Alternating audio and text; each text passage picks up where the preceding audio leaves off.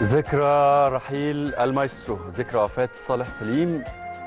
أكبر بكتير الحقيقة من أن أنا أقول من أساطير النادي الأهلي. ولقب المايسترو الحقيقة اللي بيستحق اسم صالح سليم عن جدارة واستحقاق يمكن تكون ما اتفرجتش بس ما استمتعتش بواحد من أفضل اللعيبة اللي جم في تاريخ النادي الأهلي وجم في تاريخ يمكن آه، مصر.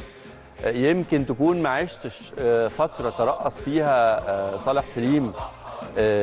كيان النادي الأهلي.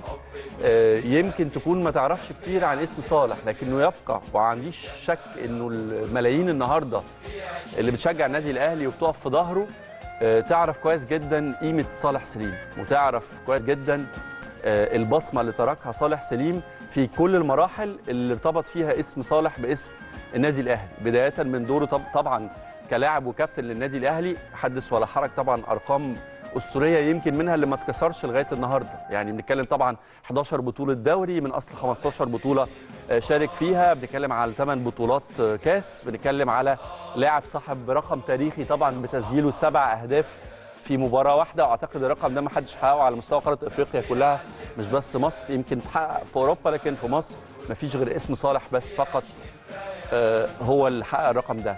لكن الحقيقة قصة صالح مع الأهلي مش مجرد أرقام وبطولات ومرحلة الأهلي في عهد صالح سليم مش.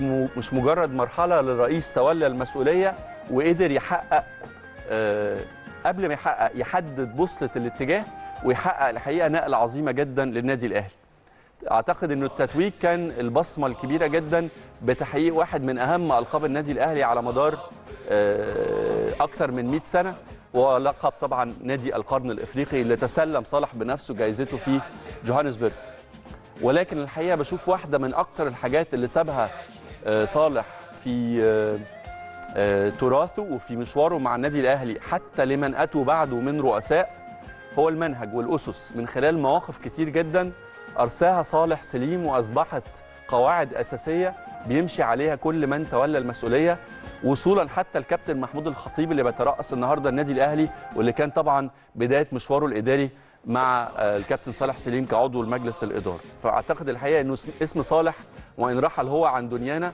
سيظل باقيا دائما وابدا كواحد من أهم الأساطير في تاريخ النادي الأهلي وواحد من أهم الأسماء في قلوب كل الأهلاوية.